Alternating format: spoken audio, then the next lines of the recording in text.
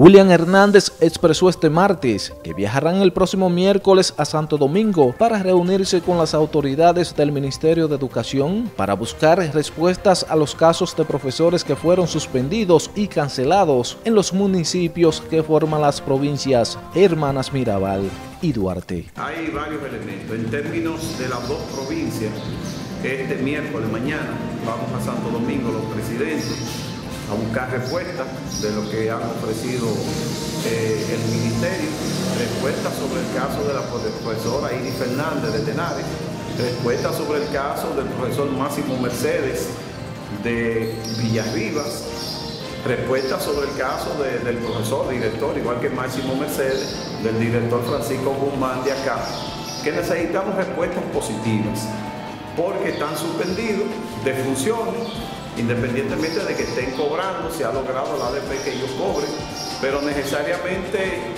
eh, nosotros no queremos personas en esas condiciones, sino que necesitamos que ellos estén cumpliendo sus roles como directores.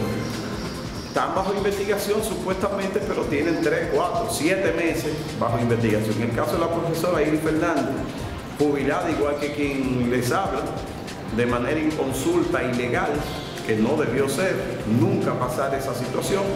Entonces, estamos buscando respuestas porque estamos perdiendo una, nuestra laborosidad que hacemos en nuestras aulas, en yo aquí en San Francisco de Macorís.